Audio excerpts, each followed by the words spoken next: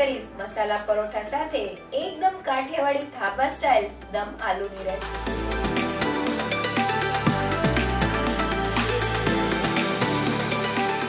કાઠિયાવાડી સ્વાદ સાથે એકદમ સ્પાઇસી અને ટેસ્ટી સ્પેશિયલ દમ આલુ સાથે મસાલા પરોઠા બનાવવાનું શરૂ કરીએ. નવી રેસીપી શીખવા માટે નેહા કુકબુક ગુજરાતી ચેનલને સબસ્ક્રાઇબ કરો અને સાથે બેલ આઇકોનને જરૂરથી દબાવો નવા રેસીપી વીડિયો સૌથી પહેલાં જોવા માટે. પંજાબી દમ અલગ, કાઠિયાવાડી સ્ટાઇલ સ્પાઇસી દમ માટે મેં અહીંયા પાંચસો ગ્રામ અને નંગમાં અગિયારથી બાર નંગ જેટલી નાની સાઇઝની બટેટી લીધેલી છે. જો ઘરમાં બટેટી ના હોય તો તમે તેની જગ્યાએ મોટી સાઇઝના બટેટાના ચાર ભાગ કરીને લઈ શકો છો. હવે અઢી કપ અથવા તો બટેટી ડૂબે તેટલું પાણી એડ કરી દઈએ. સાથે સ્વાદ પ્રમાણે મીઠું એડ કરીને બધી જ વસ્તુને મિક્સ કરી લઈએ. તો બટેટીને બાફતી વખતે મીઠું એડ કરવાથી તેનો મોડો સ્વાદ વયો જાય છે. તો હવે કુકરનું ઢાંકણ બંધ કરીને મીડિયમ ગેસની ફ્લેમ પર ફક્ત એક જ વિસલ કરી લઈએ. તો દમ આલુ માટે બટેટાને બાફતી વખતે એ વાતનું ખાસ ધ્યાન રાખવાનું છે કે આપણે તેને ફક્ત એક વિસલ કરી અને એંસી ટકા જેટલા જ બાફવાના છે. કારણ કે પછી આપણે તેની સાથે બીજી પ્રોસેસ કરવામાં તેને હંડ્રેડ પર્સન્ટ કૂક કરી લેશું. તો એક વિસલ થઈ ગઈ છે, હવે કુકરનું ઢાંકણ ખોલી લઈએ. તો આપણા બટેટા અધકચરા બફાઈ ગયા છે. હવે બટેટા ગરમ હોય ત્યારે જ તેની ઉપરનો છાલનો ભાગ કાઢીને બધા જ બટેટાને તૈયાર કરી લઈએ. તો હવે દમ આલુ માટે બહારથી બટેટાને ક્રિસ્પી કોટિંગ દેવા મેં અહીંયા તેલ ગરમ કરવા રાખેલું છે. અને હવે અધકચરા બાફેલા બટેટામાંથી એક બટેટાને લઈ અને કાંટાની મદદથી આ રીતના બટેટામાં હોલ્સ કરી લઈએ. જેથી બટેટા દમ આલુના બધા જ મસાલાને એકદમ સારી રીતે એબ્ઝોર્બ કરી લઈએ અને હવે બટેટાને તળવા માટે તેલમાં એડ કરી દઈએ. અને હવે મીડિયમ ગેસની ફ્લેમ પર બટેટા બહારથી સેજ ગોલ્ડન બ્રાઉન થાય અને તેની ઉપર ક્રિસ્પી કોટિંગ થાય ત્યાં સુધી આપણે તેને તળી લઈએ. તો ધાબા કે રેસ્ટોરન્ટમાં સૌ થતા દમ આલુમાં બટેટીને તળીને શાકમાં એડ કરવામાં આવે છે. પણ જો તમારે તેલનો ઓછો ઉપયોગ કરવો હોય તો ફક્ત બે મોટી ચમચી તેલમાં બટેટાને સેલો ફ્રાય કરીને તમે આ રીતનું ક્રિસ્પી કોટિંગ કરી શકો છો. તો લગભગ પાંચ મિનિટમાં જ આપણા બટેટા એકદમ સારી રીતે ફ્રાય થઈને તેની ઉપર ક્રિસ્પી કોટિંગ થઈ ગયું છે. તો હવે તળાયેલા બટેટાને ઝારામાં લઈ લઈએ, જેથી વધારાનું બધું જ તેલ નીકળી જાય.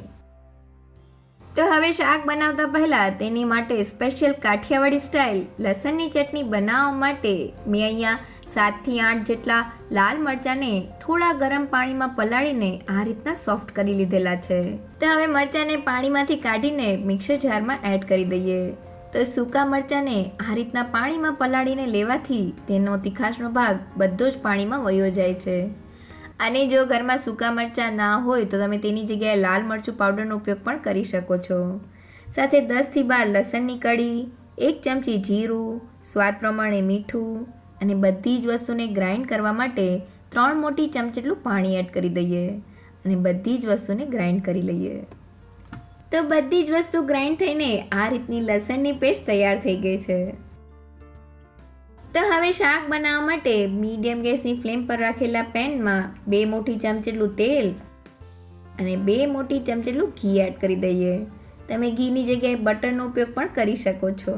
તો હવે સૂકા મસાલામાં એક ચમચી જીરું, ત્રણથી ચાર લવિંગ, એક ઇંચ તજનો ટુકડો, એક તમાલપત્ર બે એલચીના દાણા અને અડધી ચમચી લીલી વરિયાળી લીધેલી છે. સાથે એક પિંચ જેટલી હિંગ એડ કરીને સૂકા મસાલાને તેલમાં સારી રીતે સાચવી લઈએ, જેથી તેની એકદમ સરસ ફ્લેવર આપણા શાકમાં એડ થાય. તો આપણું જીરું સારી રીતે કકડી ગયું છે. હવે મેં અહીંયા ત્રણ મીડિયમ સાઇઝની ડુંગળીને ઝીણી સુધારી લીધેલી છે. તેને એડ કરીને ડુંગળી સેજ ટ્રાન્સપરન્ટ થાય ત્યાં સુધી તેને સોતે કરી લઈએ. તો લગભગ ત્રણ મિનિટમાં તમે જોઈ શકો છો કે ડુંગળી સારી રીતે સોતે થઈને ટ્રાન્સપરન્ટ થઈ ગઈ છે. તો હવે આ સમયે અડધી ચમચી આદુની પેસ્ટ અને તૈયાર કરેલી લસણની પેસ્ટને એડ કરીને તેલમાં સારી રીતે સાતળી લઈએ. તો આપણી લસણની પેસ્ટ સારી રીતે સતળાઈ ગઈ છે અને તેની સાઇડ્સમાંથી તેલ છૂટું પડવા લાગ્યું છે. તો હવે ગેસની ફ્લેમ લો કરી દઈએ. તો હવે મસાલામાં વન ફોર ટીસ્પૂન જેટલો હળદર પાવડર અને મેં અહીંયા એક ચમચેલું કશ્મીરી લાલ મરચું પાવડર લીધેલું છે. તો કશ્મીરી લાલ મરચાંથી શાકનો કલર એકદમ સરસ આવે છે અને તેમાં તીખાશનું પ્રમાણ ઓછું હોય છે. સાથે એક ચમચી ધાણા જીરું પાવડર અડધી ચમચી શેકેલા જીરાનો પાવડર અને શાકની ગ્રેવીને એકદમ બજાર જેવી થિકનેસ આપવા માટે મેં અહીંયા એક મોટી ચમચેટલો ચણાનો લોટ લીધેલો છે. તો હવે ધીમા ગેસ પર બધી જ વસ્તુને તેલમાં સારી રીતે સાતરી લઈએ. તો પંજાબી સ્ટાઇલ દમ આલુમાં ગ્રેવીને થિકનેસ આપવા માટે કાજુનો ઉપયોગ કરવામાં આવે છે. પણ અહીંયા આપણે ફક્ત એક મોટી ચમચેટલા ચણાના લોટના ઉપયોગથી ગ્રેવીને એકદમ થીક અને ધાબા સ્ટાઇલ બનાવશું. તો આપણા લોટ અને મસાલા સારી રીતે સતરાઈને તેની સાઇડ્સમાંથી તેલ છૂટું પડવા લાગ્યું છે. હવે મેં અહીંયા ત્રણ મીડિયમ સાઇઝના ટમેટાને મિક્સર જારમાં પીસીને તેની આ રીતના પ્યુરે કરી લીધેલી છે. તો મિક્સર જાર સિવાય તમે ટમેટાને ખમણીથી ખમણીને પણ લઈ શકો છો. હવે ટમેટા ફટાફટ કૂક થઈ જાય, તેના માટે સ્વાદ પ્રમાણે મીઠું એડ કરીને બધી જ વસ્તુને મિક્સ કરી લઈએ. અને હવે ગેસની ફ્લેમ મીડિયમ કરી દઈએ અને ઢાંકણ ઢાંકીને ગ્રેવીને કૂક કરી લઈએ. તો ગ્રેવીને કૂક કરતી વખતે ગેસની ફ્લેમ મીડિયમ રાખવી અને વચ્ચે વચ્ચે તેને હલાવતા જવું, જેથી તે પેનના તળિયે ચોટે નહીં. તો લગભગ પાંચથી સાત મિનિટ જેવું થઈ ગયું છે, હવે ઢાંકણને ખોલી લઈએ. તો તમે જોઈ શકો છો કે ગ્રેવીની ક્વોન્ટિટી પહેલાં કરતાં અડધી થવાની સાથે તેની સાઇડ્સમાંથી તેલ છૂટું પડી ગયું છે. મીન્સ તે સારી રીતે કૂક થઈ ગઈ છે. તો હવે દમ આલુની ગ્રેવીને ક્રીમી ટેક્સચર દેવા માટે મેં અહીંયા ત્રણ મોટી ચમચેટલું સેજ ઘાટું અને ઘરનું દહીં લીધેલું છે. તેને ગ્રેવીમાં એડ કરી દઈએ અને ગ્રેવીમાં સારી રીતે મિક્સ કરીને કૂક કરી લઈએ. તો દહીં એડ કર્યા પછી ગેસની ફ્લેમ મીડિયમ ટુ લો રાખીને ગ્રેવીને સતત હલાવતા રહેવું. જેથી દહીં એકદમ સારી રીતે ગ્રેવીમાં મિક્સ થઈ જાય અને જરા પણ ફાટે નહીં. તો લગભગ બેથી ત્રણ મિનિટમાં તમે જોઈ શકો છો કે દહીં ગ્રેવીમાં સારી રીતે ભળવાથી ગ્રેવી ક્રીમી ટેક્સચર સાથે તૈયાર થઈ ગઈ છે.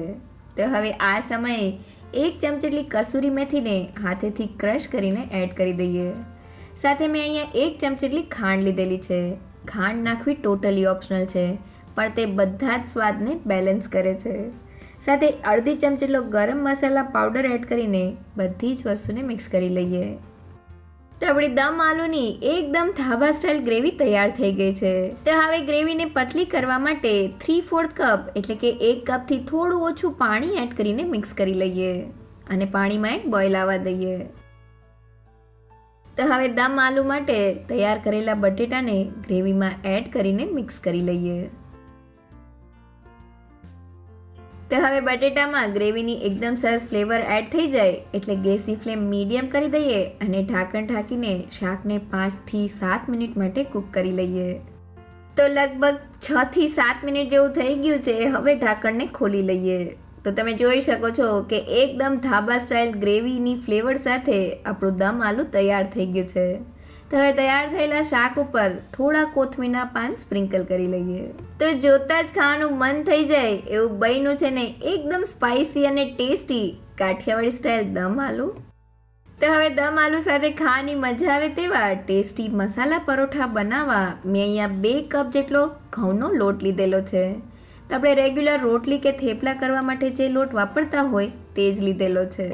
હવે તેમાં મસાલામાં વન ફોર સ્પૂન જેટલો હળદર પાવડર અડધી ચમચી લાલ મરચું પાવડર એક ચોથાઈ ચમચી જેટલું જીરું, એક ચોથાઈ ચમચી જેટલો અજમો, એક ચમચી આદુની પેસ્ટ અડધી ચમચી જેટલો ગરમ મસાલા પાવડર એક ચમચી કસૂરી મેથી, સ્વાદ પ્રમાણે મીઠું. અને મેં અહીંયા વન ફોર્થ કપ જેટલા ઝીણા સમારેલા કોથમીના પાન લીધેલા છે. સાથે તેટલા જ પ્રમાણમાં ઝીણા સમારેલા ફુદીનાના પાન. તો જો ઘરમાં કોથમીર કે ફુદીનાના પાન ના હોય, તો તમે તેના વગર પણ ફક્ત મસાલાથી પરોઠા બનાવી શકો છો. હવે મોણ માટે બે મોટી ચમચેલું તેલ એડ કરી દઈએ અને હાથની મદદથી મસાલાને લોટમાં સારી રીતે મિક્સ કરી લઈએ. તો આપણા મસાલા સારી રીતે મિક્સ થઈ ગયા છે. હવે મેં અહીંયા થ્રી ફોર્થ કપ એટલે કે એક કપથી થોડું ઓછું ઘરનું અને સીજ ખાટું દહીં લીધેલું છે. તેને એડ કરીને મિક્સ કરી લઈએ. તો દહીંને લોટમાં એડ કરવાથી આપણા પરોઠા ખાવામાં એકદમ સોફ્ટ બને છે.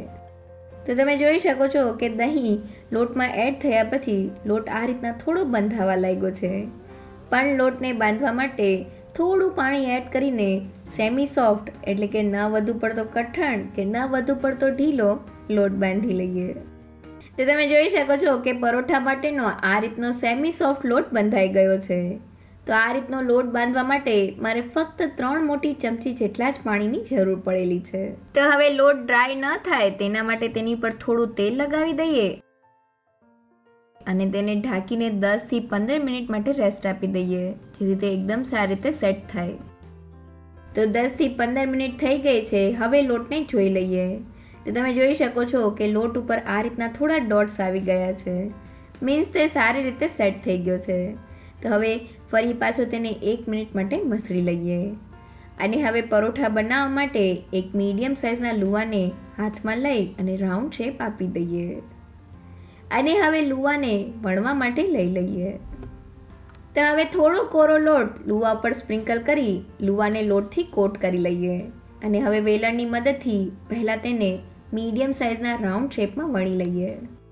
તો મીડિયમ સાઇઝમાં રાઉન્ડ શેપનું પરોઠું વણાઈ ગયું છે. તમે આ પરોઠાને આ રીતે પણ ખાઈ શકો છો. પણ હું તેને થોડા પળવાળા કરવા માટે અડધી ચમચ જેટલું ઘી પરોઠા ઉપર એડ કરી તેને હાથની મદદથી સ્પ્રેડ કરી લઈએ. તો અહીંયા તમે ઘીની જગ્યાએ તેલનો ઉપયોગ પણ કરી શકો છો. હવે ઉપરથી થોડો કોરો લોટ સ્પ્રિંકલ કરી પરોઠાને ફોલ્ડ કરી લઈએ. અને હવે ફરી પાછું તેની ઉપર થોડું ઘી અને થોડો કોરોલોટ સ્પ્રિંકલ કરી પરોઠાને ફોલ્ડ કરીને આ રીતના ત્રિકોણ શેપમાં વાળી લઈએ. તો તમે જોઈ શકો છો કે પરોઠામાં એકદમ સરસ લેયર તૈયાર થયા છે. તો હવે લુવા ઉપર ફરીથી થોડો કોરો લોટ સ્પ્રિંકલ કરી ત્રિકોણ શેપનું પરોઠું વણી લઈએ. તો તમે જોઈ શકો છો કે મીડિયમ થિકનેસ સાથે મેં પરોઠું વણી લીધેલું છે. જો તમને પતલા પરોઠા ભાવતા હોય તો તમે તે રીતના પણ બનાવી શકો છો. તો હવે પરોઠાને શેકવા માટે ગરમ તવા ઉપર એડ કરી દઈએ. તો લગભગ બે મિનિટ પછી તમે જોઈ શકો છો કે પરોઠા ઉપર આ રીતના થોડા બબલ્સ થાય છે. તો હવે તવીથાની મદદથી તેને ફેરવી લઈએ. અને ઉપરની બાજુએ અડધી ચમચ જેટલું ઘી લગાવીને પરોઠાને બંને બાજુ સારી રીતે શેકી લઈએ. તો પરોઠાને શેકતી વખતે ગેસની ફ્લેમ મીડિયમ રાખવી, જેથી તે એકદમ સારી રીતે શેકાય અને તેના પળ પણ છૂટા પડે. તો તમે જોઈ શકો છો કે આપણું પરોઠું બંને બાજુથી એકદમ સારી રીતે શેકાઈ ગયું છે. તો હવે તૈયાર થયેલા પરોઠાને પ્લેટમાં લઈ લઈએ. તો દમ આલુ સાથે ખાવાની મજા આવે તેવા સુપર ટેસ્ટી મસાલા પરોઠા તૈયાર થઈ ગયા છે. તો ઘરમાં રહેલી સિમ્પલ સામગ્રીથી પંજાબી દમ આલુને ટક્કર મારે તેવું એકદમ કાઠિયાવાડી ધાબા સ્ટાઇલ દમ આલુ સાથે મસાલા પરોઠાને ઘરે બનાવવા માટે લખેલી રેસીપી જોતી હોય તો મેં વેબસાઇટની લિંક ડિસ્ક્રિપ્શન બોક્સમાં આપેલી છે. જો તમને મારી આજની રેસીપી ગમી હોય તો મને કમેન્ટ સેક્શનમાં જરૂરથી કહેજો. સાથે મારા વિડીયોને લાઇક અને ફ્રેન્ડ્સમાં શેર કરજો. અને મારી ચેનલને સબસ્ક્રાઈબ કરવાનું ના ભૂલશો. તો ફરી મળીએ એક નવી રેસીપી સાથે.